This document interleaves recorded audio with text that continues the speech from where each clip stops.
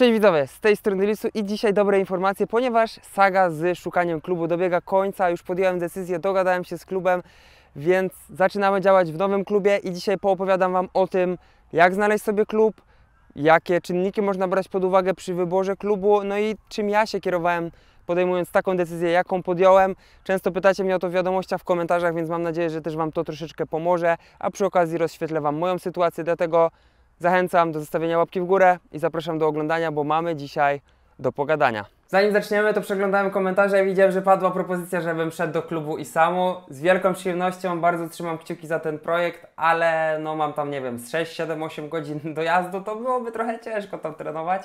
Ale sam pomysł szanuję, mam nadzieję, że to się uda, że to nie będzie pomysł na pół roku, tylko że to na serio będzie jakaś tam wizja przyszłości, żeby ten klub funkcjonował. Trzymam kciuki, życzę powodzenia.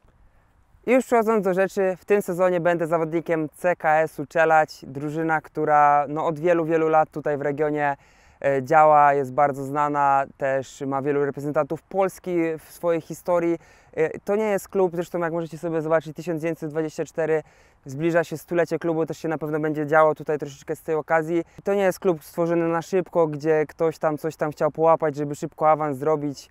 E, tutaj jest sporo ludzi, którzy dbają o ten klub, żeby tutaj to funkcjonowało, więc e, to też był dla mnie argument, wiecie, żeby, żeby to, cała ta struktura jakoś funkcjonowała i, i bardzo mi się to podobało, ale tych powodów było też więcej. Jeżeli chodzi o samą decyzję o zmianie klubu, to dla mnie najważniejszym czynnikiem było sama chęć zmiany. Po prostu potrzebowałem czegoś nowego, czułem się zakopany, że jestem w tym samym miejscu od paru lat i nic się nie dzieje więc y, na pewno chciałem coś zmienić, nie wiedziałem jak to, jak to jeszcze wyjdzie, ale tutaj widzicie, nowa drużyna, nowi zawodnicy, nowy trener, y, nowe boisko, wszystko, wszystkie te czynniki wpływają, że ja muszę jakoś na to zareagować, dostosować się, czegoś nowego nauczyć, więc potrzebowałem po prostu takiego bodźca, żeby, żeby coś tam spróbować, wiecie, y, w innym otoczeniu, zobaczyć jak mi to wyjdzie. Kolejnym bardzo istotnym czynnikiem dla mnie było to, że w CKS-ie jest liga okręgowa. Co to dla mnie oznacza?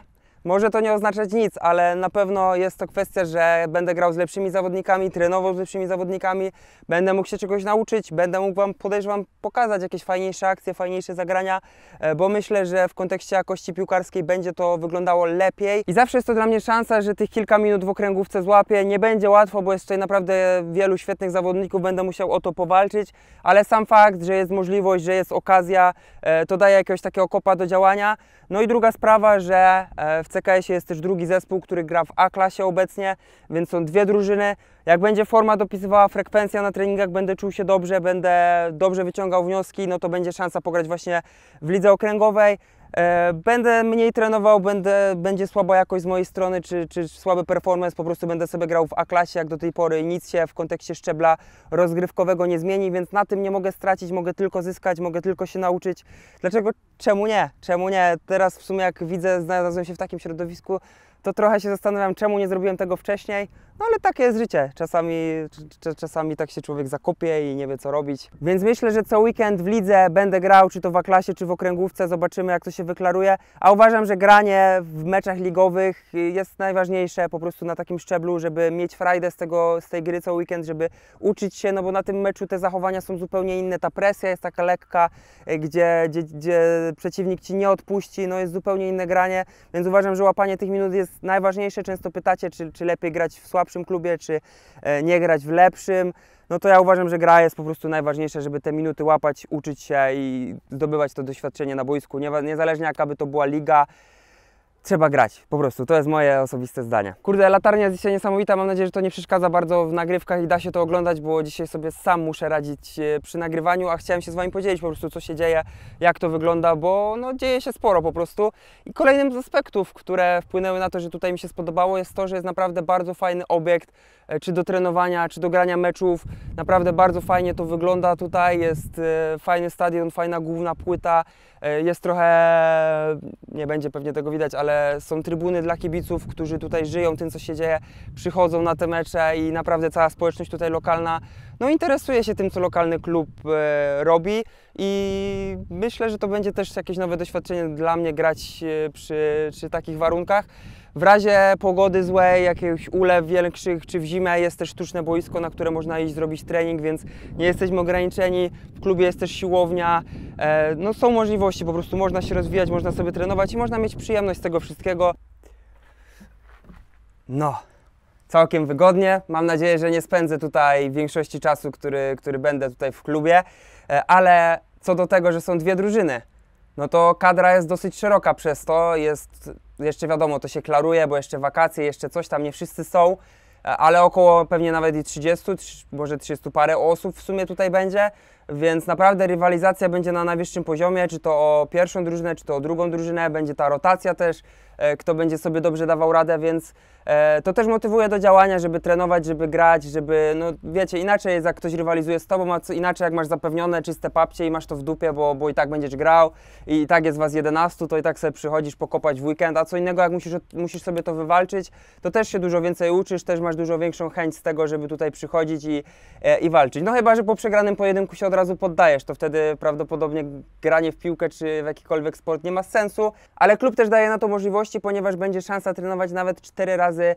w tygodniu z drużyną, ponieważ dwa treningi pierwszej drużyny, dwa treningi rezerw, czy tam uzupełniające, jak ktoś będzie miał czas, chęci, siłę, to można trenować nawet 4 razy w tygodniu i naprawdę w treningu z drużyną, wiecie, w rywalizacji idzie się bardzo dużo przy takich czterech treningach nauczyć. Jeżeli tylko mi grafik pozwoli, czas, chęci i siła, no to jak najbardziej będę chciał trenować. A poza tym ja po to się deklaruję, że jestem zawodnikiem danej drużyny, żeby właśnie cieszyć się z całego tego tygodnia, że są treningi, że potem sobie gramy w meczu, żeby żyć tym, co się dzieje.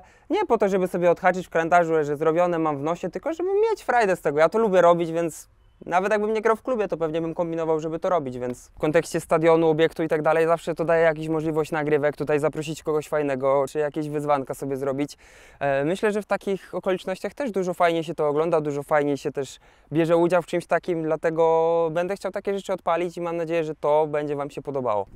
Ej widzowie, oczywiście nie zapomnijcie, że z kodem LISU w ergol.com macie 7% zniżki na cały asortyment. Jeżeli potrzebujecie jakiś sprzęcik na sezon, jakieś koreczki, jakieś termo może, to oczywiście zachęcam do korzystania z kodu. Możecie w ten sposób wesprzeć mnie, za co Wam bardzo dziękuję i mam nadzieję, że sprzęcik będzie służył. Idąc dalej widzowie, do dyspozycji będziemy mieli trzech trenerów, w tym grający trener pierwszej drużyny Mariusz Muszalik, tutaj osoba bardzo znana w regionie, osoba, która zagrała naprawdę sporo meczów e, na najwyższym szczeblu rozrywkowym w Polsce, więc i na boisku, i z ławki osoba, której idzie się czegoś nauczyć, podpatrzeć jakieś zagrania, e, czy posłuchać po prostu do, do rady doświadczonej osoby, która naprawdę grała w piłkę, a nie bawi się w próbowanie grania w piłkę. E, I pozostali trenerzy mają podobne podejście, więc to wszystko jest takie świadome, wszystko jest w rozmowie, to nie jest jakaś stara szkoła, jakaś jebanka, że o, co ty robisz, czy coś, tylko wszystko jest dlaczego, po co i, i to są konkrety i to mi się bardzo podoba. Padła mi bateria, bo jestem głupi, więc dogrywam w domu, ale już dużo nam zostało. Jednym z czynników, który był w sumie też wartościowy jest to, że mam dosyć blisko, około 15 minut mam, żeby dojechać sobie na stadion. Więc wiecie, jak gdzieś się spieszę, coś mam do załatwienia, gdzieś muszę dojechać na trening, to mam okazję to zrobić. Po prostu mam blisko, nawet jak teraz jest pogoda, to czasami na rowerku sobie pojadę. I no i dużo mniej z tego dnia się traci niż 5 godzin potem, żeby na trening dojechać nie? i go zrobić. Jest jeszcze jeden czynnik, którego ja w ogóle nie brałem pod uwagę przy akurat tej opcji, a mianowicie pieniądze. Jak dziwnie by to nie zabrzmiało na takim szczeblu. E, tak, część klubów płaci naprawdę nieźle w niektórych drużynach. Niektórzy dostają 1000 zł, niektórzy dostają 300 zł za mecz, niektórzy dostają 2000 zł, różne kwoty się pojawiają. I czasami jest to argument dla kogoś, żeby gdzieś tam je, jeździć trochę dalej, zagrać mecze w innej lidze i tak dalej, e, bo trochę do kabzy może zawsze wpaść. Ja akurat się tym w ogóle tutaj nie kierowałem, to było gdzieś na samym samym końcu, więc e, tylko Wam mówię, no bo to może być motywator. I a propos tego, co Wy powinniście zrobić, jak wybierać klub, jak zmieniać klub, no to musicie sobie na to odpowiedzieć sami, pozadawać sobie trochę pytań. Co jest dla Was ważne? Dla niektórych będzie ważne to, żeby w ogóle uprawiać jakiś sport, więc będziecie się kierować tym, żeby mieć w miarę blisko i w miarę swobodnie móc tam sobie iść i trenować. Dla niektórych będzie właśnie wartościowe to, żeby dorobić sobie 300 zł w miesiącu, więc znajdziecie klub, który troszeczkę więcej płaci, a dla kogoś będzie najważniejszy rozwój i będzie chciał dużo trenować z fajnymi zawodnikami na fajnej intensywności. E, dlatego sami się zastanówcie, co jest dla Was ważne, jak chcecie, żeby w tą przygodę się bawić, co chcecie robić, bo nawet na takim szczeblu jest trochę możliwości, żeby e, pod różnymi kątami to działać. Jeszcze chciałbym się odnieść do pytania, które często pada, a mianowicie jak sobie w ogóle znaleźć klub, jeżeli nie graliście nigdy nigdzie czy cokolwiek. Po pierwsze, za- zazwyczaj każdy kogoś zna. Znacie kogoś, kto gdzieś gra, ktoś gdzieś grał, kto, czy to z pracy, czy ze szkoły. Możecie po prostu zagadać. Ej mordo, chciałbym gdzieś pograć, dałbyś numer do trenera, albo chciałbym przyjść na trening. Najprostsza droga. Jeżeli nie znacie kompletnie nikogo, jakoś tak wyszło, Możecie sobie wygooglować e, kluby piłkarskie w Waszej okolicy, zobaczyć w jakich to są ligach. E, I tak samo, albo iść tam fizycznie, zagadać do trenera, prezesa, albo znaleźć numer telefonu gdzieś tam na stronie klubu i zapytać: Dzień dobry, chciałbym przyjść na, tre- na trening, chciałbym należeć do drużyny piłkarskiej, trenować, grać. E, I sobie idziecie. No jak e, w takiej AB klasie Wam pozwolą trenować, myślę, że bez problemu. Jak będzie- okaże się, że ogarniacie temat, no to, no to pewnie będziecie sobie też gdzieś tam grać, łapać minuty i czerpać z tego frajdę w taki sposób, więc kombinujcie. E, Nie jest to takie trudne. W tych AB klasach naprawdę e, zawodnicy są potrzebni, bo ja uważam, że jest ich coraz mniej, więc każdy zaangażowany człowiek, który chodzi na treningi się przyda. E, I powodzonka po prostu.